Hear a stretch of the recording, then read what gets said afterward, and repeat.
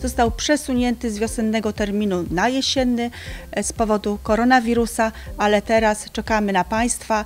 E, można jeszcze dołączyć, można się zapisać.